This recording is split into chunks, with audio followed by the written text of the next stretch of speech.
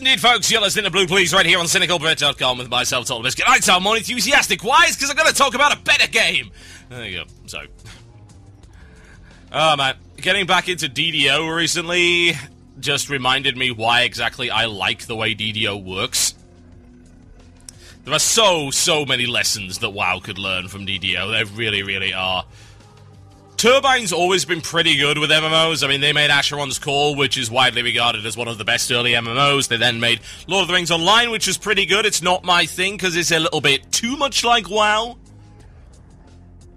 Just a bit too much in terms of the mechanics and things like that. There are certainly some things that are different, but it's, it's a bit too much WoW like. Whereas DDO is just like, you know, actually, we don't care. we, we, we just we just don't give a damn. Don't give a damn. We're just gonna do whatever we feel like. What you gonna do about it? Absolutely goddamn nothing. You'll play our game and you'll like it. And you'll play the game we, the way we want you to play the game, and you will damn well like it. Oh, yes. Hmm. And I actually love that attitude. I really, really do. It's like, we're Turbine, we know better than you. Yeah, you're right, actually. You do. There you go. So, there are a few things about DDO that I really like. And for some inexplicable reason, they're not putting them in WoW. And then there are some things which actually they probably could never put in WoW because that's just not the way the game works. So, the thing about DDO, the weird thing about DDO, is that the same thing that really attracts me to DDO, one of them anyway, one of the things that really attracts me to DDO is very, very similar, very similar, to one of the things that was pointed out in early reviews of World of Warcraft. And that's the idea of the self contained adventure in the form of the quest. So, the quest breaks down into a very, very simple little framework. And this applies to World of Warcraft, DDO, and all of the games that work this way. A quest must have a quest giver. This quest giver will have a reason for you to take the quest. Going up to this guy and talking to him will have him ask you, I have this problem. And of course, it will be always a problem of some description. Maybe big or small. It's always a problem. What is this problem, you say? That he will tell you what the problem is. He will then give you an objective. That objective will always send you somewhere. Once you go to that place, you will carry out the objective. Once the objective is complete, revisiting that quest giver will earn you a reward in the form of experience. Usually it will give you gold as well. And it, most of the time, not always, but most of the time, will give you a piece of loot. This is the basic framework that questing requires of you. Really as simple as that. So, what else is needed? What else? Well, nothing. Except the idea of the actual content being interesting. And that's really a big deal, isn't it? Now, WoW has done that successfully with the leveling content within World of Warcraft Cataclysm. In fact, I think that's probably one of Cataclysm's proudest achievements. They have improved the leveling content drastically. It is much better. Still not where I'd like it to be, but it's much better. But I want to break it down all the way back to vanilla and talk about questing and how DDO captures that old, old style of questing and actually does it in a much, much better way. So, I'm going to try and find the IGN review of World of Warcraft. Because I'm pretty sure this actually had what we needed in it. This had the quote that I'm after. Almost surely. I'm going to find it. Let's see. Here we go, yes. This I use this quote every time because it's a really good quote. Now imagine an MMO where your experience is a string of quests where you're rewarded with cool item recipe or a decent amount of pocket money, a game where the grind is virtually eliminated, a game where downtime is relatively non-existent, where enemies respawn rapidly and dynamically according to how many players are in the local area. Things like that. Now in this case, that quote isn't entirely relevant, but what I just said about questing kind of is. Now, the thing about questing is that questing is a self-contained adventure, and questing is actually what made the game initially very casual friendly, as it were. Because you could spend 10 minutes in the game whenever, and you could accomplish something. And there's nothing wrong with that. And it's actually the reason that daily quests continue to exist. Because as laborious and dull as hell as they are, a casual player, and we're talking about the most casual of casual right here, I mean, we really, really are. We're talking about some guy that can maybe log in randomly for like 10 minutes. Which, I don't know, how large. How large is the player base that can only do that? I don't know. I have no idea. There's no way to tell, is there? None. We'd have no metrics on this. So, questing helps those kind of people, but the thing about DDO is that it takes the concept of a self contained adventure and it goes nuts with it. It's like, well, so WoW has self-contained adventures in the form of quests. You can do a quest and you've just gone on a mini adventure and you get rewarded for it. And it, it ties it up nicely. You know? I think that's kind of the main thing, isn't it? It gives you closure. Closure is da-da! That's the sound of closure within World of Warcraft, folks. When you complete a quest, when you hand it in, that little noise, and the little reward, and the clinking of gold, and the acquisition of an item. That's ultimate closure right there. You started your adventure, you finished your adventure, you achieved something, and that, as they say, is that.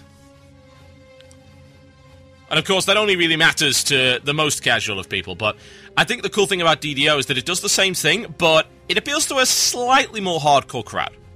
Yeah?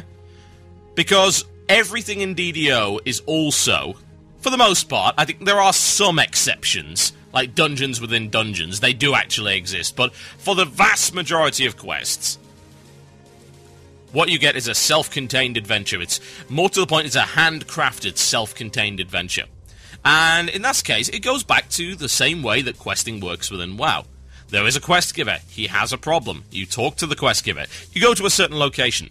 Except in DDO, vast majority of the time, there are some exceptions, but the vast majority of the time, you enter a door or some kind of gate or portal or manhole that has a little orange swirly thing on it. Little squiggle, swirly thing. Kind of looks like a Dreamcast logo. So you go into Dreamcast Dungeon, and Dreamcast Dungeon will then display a menu, and it will say, This is the level of this adventure. This is what you will expect here. This might be a challenging adventure which requires you to do a party. That's actually something that I found rather amusing. A few days ago, I decided I'm going to go to the Necropolis and try and record an adventure for you guys and show it to, to you. And then I realized the dungeon I'd gone into was actually impossible to do without a party. And you might think, oh, well, you're just not good enough. No, it was literally impossible to do. There were switches that people had to throw at the same time. Your party actually had to split up, throw those switches at the same time, and it was impossible to solo. You could not do it. You couldn't even do it with hirelings, as far as I'm aware. You had to have other people with it. And the majority of quests in DDO are not like that, but there are some in there, certainly. The, the, weird thing about DDO, I suppose, is the fact that dungeons, in the way that you would expect them to be in WoW, and questings, they the lines blur between them, to the point where actually there really isn't a difference between them. Because all of this questing is done in an instance, everything is a dungeon. I forgot to say, it's Dungeons and Dragons. Why would it not? Why would it not be?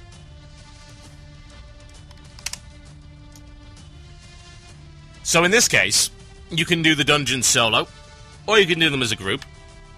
And by default, there are four difficulty levels available for pretty much every quest. Again, some exceptions, but for most of them. And for some of them, there's also a fifth, which is basically heroic. Yeah? At maximum level, you can do that dungeon again on epic difficulty, which is the same as heroic. You have to be level 20 to do it, and of course, it yields all manner of rewards, and it's really hard! Incredibly difficult. There are still plenty of dungeons at that level you can go in there to acquire gear and all sorts of things. Guild Renown, for instance. I mean, guilds in DDR, I think, have like 100 levels. It takes much longer to get through that. Oh, yeah, and guild airships. Yes. Something I was hoping for WoW. It's like, why can we not have a guild something? No, you're not allowed that. Well, that sucks. Oh well. Anyway, back to the point, I suppose. The idea of the self-contained adventure. It's self-contained in the fact that it is scripted, it's got voice acting in it, pretty much all the time. Not all of it, but most of it. In the form of the Dungeon Master that says, well, this is why you're here, and then advances the storyline along. And it seems cheesy, but it helps. It really, really does. It brings the immersion factor to the fore on that one. And it, once again, gives you the impression that you are in a self-contained adventure, because that's exactly what it is. A dungeon within DDO is basically an adventure that you would have in a tabletop. But it's much shorter most of the time. Obviously, doing the kind of things that you did in DDO in the tabletop and pen and paper versions of Dungeons and Dragons would take hours. In Dungeons and Dragons Online, you can do it in about 10 15 minutes, maybe, because, of course, it's all self contained and, more to the point, it's in real time. There are longer dungeons and quests, certainly. But you get the point. So, what happens? Well, because you are able to do that, and because you then get a satisfying conclusion, usually you get treasure chests at the end of it. And because they don't really do random loot drops in the same way as WoW, it feels more exciting. It's the same thing, but it's delivered in a different way. And actually, that delivery is what makes all the difference. For instance, you can get random green drops in dungeons, and of course, you can get random blues and things like that, and you get boss drops. But DDO doesn't really do it that way. DDO does it all from chests. And chests appear when you complete certain objectives, and usually when you beat the dungeon. You don't get random drops in the same way. Sure, some monsters do drop little collectible bags, and usually they've got collectibles which can be handed into various vendors in order to gain rewards. But most of the time, the loot that you get is from chests. And even the experience you get from dungeons and quests in DDO is actually the end of the quest because you don't earn experience in the same way and you don't earn loot the same way. And I think that because of that, it gives massive advantage to DDO in terms of that sense of closure, going back to that old idea of what questing was in WoW. The old vanilla idea of a self contained adventure. The loot and the experience that you all get in one go at the end of a quest. You get no experience from killing monsters, folks. You don't. You get no experience from doing that whatsoever. None. None at all.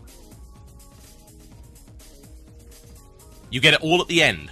And it's all calculated by a scorecard, and you can see where it came from. And you get more experience if you do the dungeon in a better way. And even you get all your loot at the end, and you loot the chest, and your whole party's like, oh, what's in the chest? What am I going to get? And of course, everybody gets loot. You don't have to roll against other people. Everyone gets their own set of loot from that. It's like, yeah, this is this is great. That was the end of our adventure. That was the really cool thing. And once you hand it in, and even actually once you've done the quest and once you go to do the hand in, you then get randomly generated loot at the end. I suppose it's kind. Of, I don't know. It's weird, isn't it? Because I think I can see both sides of the argument. When you're doing a quest and you know that there's going to be a good item at the end that you need, I suppose you feel more motivated to do it. But I think the exciting thing about questing in DDO is that more often than not, the quest giver will randomly generate some of the loot.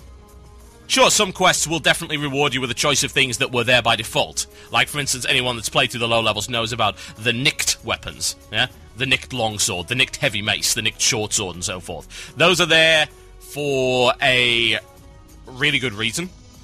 Really good reason. Because, of course, they're designed to make sure that by that point you actually have a really good weapon. But the vast majority of them, they're not preset. And it'll generate like six or seven different things. Like, for instance, one I did earlier, I generated some stuff. I was like, oh, look, it just generated me a plus three heavy mace. That's actually really useful. But I could look through this stuff. Well, as, huh, I could take the plus three heavy mace, or I could maybe take the plus one heavy mace of something, which has got a special ability. So maybe that might be good. I don't know. Or I can just not do that at all. I can take Guild Renown, which is just Guild Experience. I can hand it in if there's nothing else that I want there. So that's what it comes down to, folks. DDO takes the idea of WoW questing and it takes it all the way beyond what WoW has done with it. It knows why people prefer adventures in that format, and it expands on it, and it perfects it, in my opinion. Because I don't know of a game that has questing better than DDO. As far as I'm concerned, that, game does not exist yet. DDO has the best questing in any MMO ever.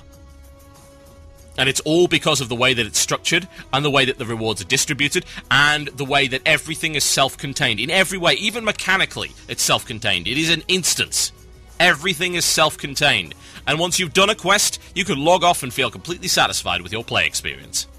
My name is Total Biscuit. You are listening to Blue Please right here on cynicalbrit.com with myself, Total Biscuit. So good that I said it twice. A reminder, folks, donations for Nordrassil Radio to help them go to DreamHack. Head over to nordrassilradio.com. There's a donate button there. They're currently, I believe, out of 75 euros out of the 600 they need. So thanks for your generosity. If you've got any dollars lying around, just some spare change in PayPal, feel free to donate to Nordrassil Radio. In the meantime, I think I'm going to play you some Avantasia. Why not? It's called The Looking Glass. Enjoy.